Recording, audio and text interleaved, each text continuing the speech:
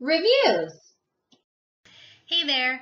So today I wanted to talk a little bit about a review of a product that I only recently came across and I'm in my 30s, so to only just discover this product recently, let's just say if I discovered it about 20 years ago, that would have been great.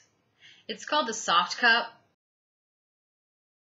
What they are are like a small round cup that you use instead of a pad, instead of a tampon, and it makes your period to me so much more non-existent and not affecting my daily life, which you just you can't beat that. When I first read the reviews, I was hesitant because I wasn't sure just how it was supposed to be inserted, just how well it was supposed to work, if it was going to leak, if it was going to be gross.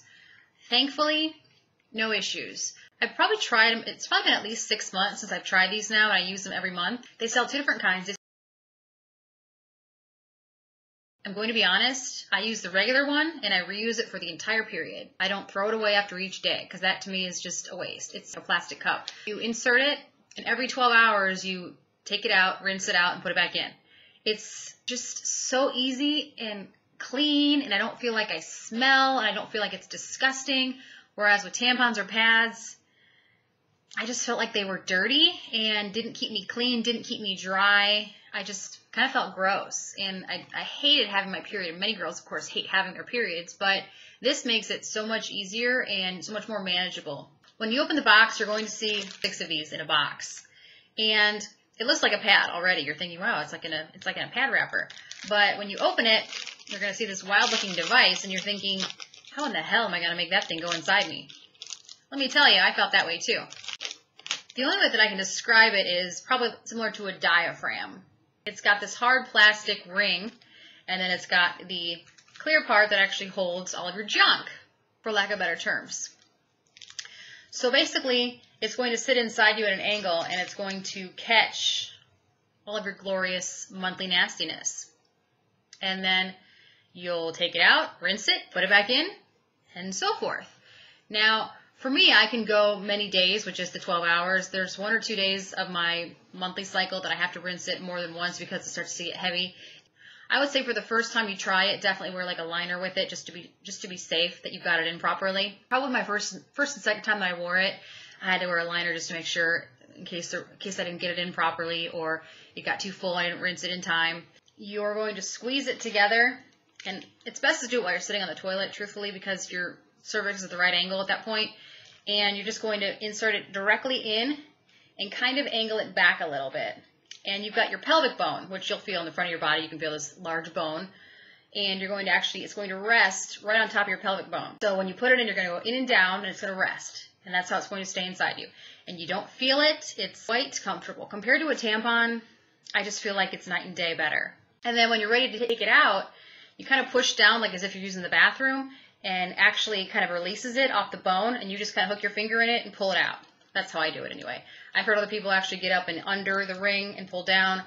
I don't want my finger going in there. Thanks. It's disgusting enough as it is to pull it out. So I take my finger under this ledge here, pull down around the bone, and then just slide it out. That way it all stays vertical. If you start messing with it, dumping it, it's going to just go everywhere. Get to the sink, rinse it, dry it, if you back in, and go. I mean, I'm telling you, it's like these have been around forever, and I don't know why they're not more widely talked about, unless women just don't like the idea of having to deal with that area down there. It's just, you have to put it in properly for it to work properly. And they recommend trying it even when you're not on your period just to make sure you're kind of comfortable with wearing it. But I tried it with my period and it works like a charm. I mean, I can sleep in it, I can work out in it, and I feel like with tampons or with pads, if you would sleep in it, you would wake up and you don't really know what to expect when you wake up. You may be in a large puddle of your own mess. Who knows? That's the joy of tampons and pads. You just never know what you're going to get. With this, I feel like it all stays in one place like it's supposed to, and you have complete control over where it is and when you decide to dump it. Another thing with tampons is I feel like they were kind of uncomfortable at times. You put it in and just, it wouldn't quite sit right, and you were just a little bit uncomfortable that day, or you feel like you could smell it. I just, and the whole string, don't even get me started on that string. I just feel like it was a nightmare. So with this, it's completely invisible, and another perk is you can actually have intercourse with this in. Giggity, giggity, giggity. I'm not going to go into too much detail with that, but try it, see if you like it. If not, whatever. Some people say the man can't feel it. Some people say the man can. It just depends on your body. It depends on who you're with. It depends on, you know, everybody's different down there. So I definitely recommend the Softcup. I use it every period faithfully now and no longer buying pads or tampons, which I love because one box of the non-reusable, I know, shame on me, is like five bucks. And how many months am I getting out of this? Probably like six months. So think about that. How much are you spending on pads and tampons monthly? It's crazy to think about how much it's going to save you if you do it the way that I do, which is probably wrong. So on Amazon right now, six of them costs $6.20. That's like a buck a period. And the reusable cups, they're giving you two, which they're saying that's that's one period per cup, are $4.52. So I like to reuse the ones that you're not supposed to reuse, but I don't really see much of a difference between the reusable ones and the non-reusable ones, so we'll see if I just get sick and die. But at this point, highly recommend Softcup.